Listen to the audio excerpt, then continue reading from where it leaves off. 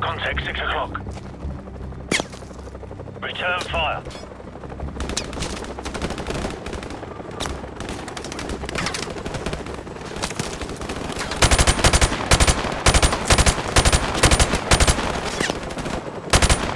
Garrison, hold them all! Get that basement door open